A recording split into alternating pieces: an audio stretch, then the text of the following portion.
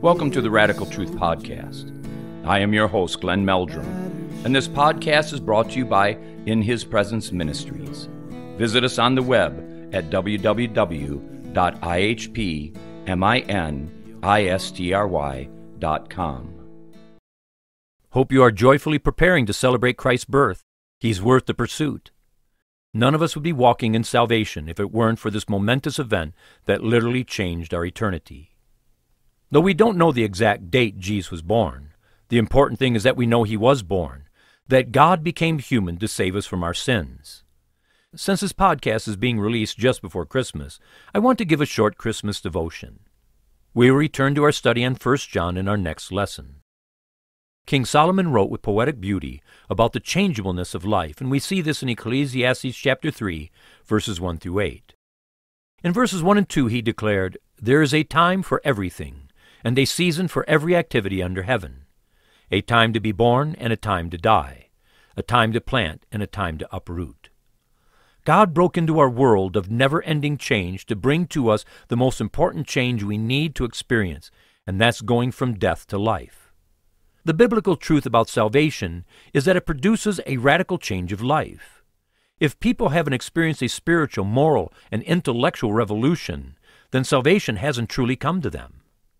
Jesus can't break into our spiritual life without there being some kind of shaking, some kind of radical transformation. The moment we learn of Christ's existence and that he is God, then we are forced to make a decision. We will either be going from death to life, or life to death, or spiritual death to eternal death. This all depends upon what we do with that baby in a manger. Christmas is all about celebrating Christ coming into the world to be our atoning sacrifice. This should be a joyous time, such as when the angel came to the shepherds at night to declare the birth of our Savior. The host of heaven couldn't be silent over the goodness and kindness of God being shown to mankind. Luke recorded the event in his Gospel in chapter 2. When the shepherds saw the angelic visitor, they were terrified. In the tenth verse, the angel said to them, Do not be afraid. I bring you good news of great joy that will be for all the people. This was followed by a great host of angels appearing before the shepherds and singing praise to God. What an awesome experience that must have been. After the heavenly host left the shepherds, they went to see this marvelous sight. The Savior of the world was born, a baby wrapped in clothes and lying in a manger. This was followed by the wise men that bowed to the King of Kings and gave him gifts worthy of who he is. During these days, the world was experiencing a radical change that the majority of mankind didn't even know was taking place. Though this change was good, it would come at a cost.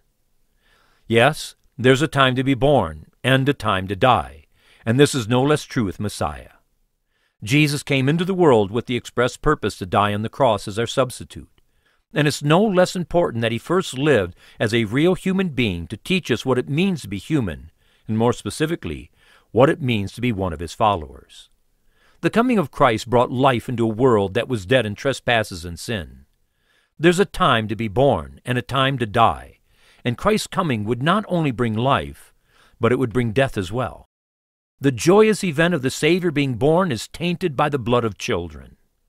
We read in Matthew chapter 2 verse 18, A voice is heard in Ramah, weeping and great mourning, Rachel weeping for her children and refusing to be comforted because they are no more. The Magi came to give honor to the Lord, but their coming stirred the hatred of hell that lived in the heart and mind of King Herod. Just like in Bethlehem, where there was no room in the inn for the Christ child to be born, so there was no room for Messiah in the wicked king's heart.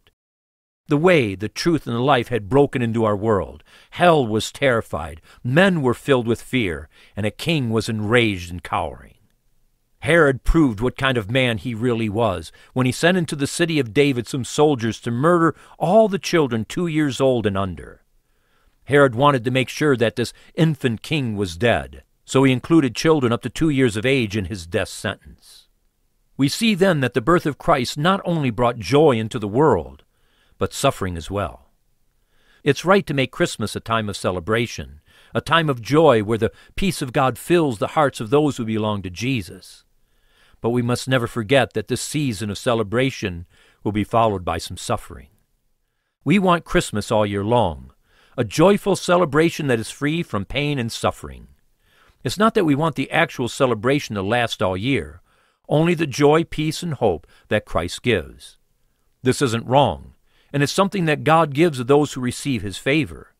But we mustn't forget Ramah, a place of weeping and trial, a place of death. If you want Messiah to be your Savior, and there's none other, then know that suffering is sure to follow. Suffering comes to all of mankind, but none had the wrath of hell against him like Jesus did. Hell is still furious over Christ's coming into the world and of Satan's total defeat through Calvary and the empty tomb. And hell is still trying to silence the voice of Christ in this world in similar ways as Herod tried. But the wicked king failed, and Satan will as well. As we rush towards Christ's soon return, Satan's rage will only grow more fierce, and we will feel the brunt of that malevolence. As true followers of Jesus, we mustn't be ignorant of the spiritual battle we must face. We see in the story of Christmas our infant Savior in the throes of spiritual warfare, though he was only a few days old. If we want to bow our heart and will to God so that we can be truly saved, then we will experience hell's fury in an effort to silence our voice. We mustn't let this happen. The angels rejoice over Christ coming into the world before the shepherds. In like manner, our voice needs to grow louder and bolder, more loving and more passionate over the good news that Jesus came to us personally. Persecution is growing throughout the world and in America as well. The devil that drove Herod to kill Jesus is still working in the lives of people today to accomplish the same work, just in a different time and in a different way. We must become fearless people that will stand for the glory of God in the face of a world that's hostile to God and to His true church. Our focus must never remain on the infant Jesus. Like I said earlier, it's right to celebrate His birth. But Jesus came to die on the cross as our atoning sacrifice to bring us to God. And He rose again so that we could know the resurrection life that only He can give. Then he ascended to the right hand of the Father, so that we could dwell with him forever in the endless joy of heaven. This is where our focus should be on the resurrected and glorified Lord who is absolute victor and gives victory to all those who wholeheartedly love and obey him. This same Lord was once an infant, a child more dangerous than we can comprehend. The Christmas story isn't one of weakness, but of victory over the world, even in the face of Herod and those who are his spiritual descendants. Christmas is a story of victory over sin, death, and hell, because Jesus came into the world to be our champion, to be our victor, to be our atoning sacrifice.